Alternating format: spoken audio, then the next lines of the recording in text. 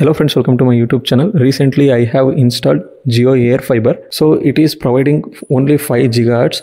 Today I am trying to install 360 camera, but 360 camera is not connecting.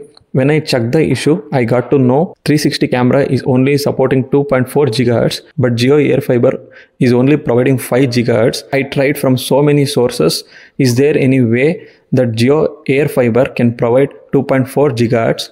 After seeing lot of youtube videos search all the resources in the google still i'm not able to get all the information. Finally i got a conclusion that for now it's not possible to get 2.4 gigahertz from Jio air fiber. If you are searching for solution then it has to be come from Jio team only. I'm expecting that in future days Jio will provide an update so that we all can get 2.4 gigahertz so this is one of the drawback of Jio Air Fiber. I want to make sure just not to waste time in searching so many videos how to get this 2.4 gigahertz from Jio Air Fiber.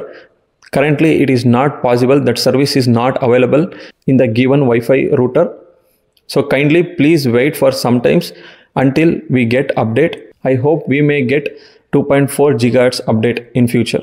If you really like the video, please do subscribe. See you in the next video.